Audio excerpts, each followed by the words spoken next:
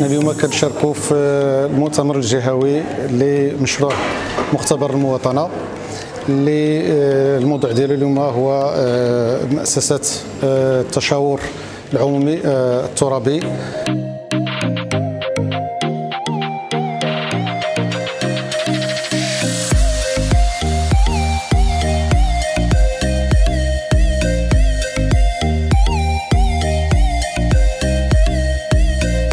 الورشات كانت حافلة بالنقاشات وكانت حافلة بمواضيع إيجابية آه، من أجل الوصول إلى تنمية مندمجة وتنمية دامجة داخل الجماعات الترابية في إطار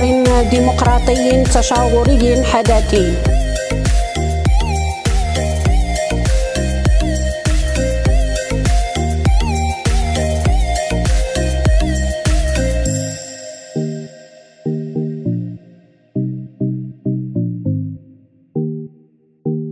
وإن شاء الله إحنا في إطار آه، يعني آه، تجديد العلاقات مع الجمعيات هذه والاماله نديروا آه، واحد التشبيك ديال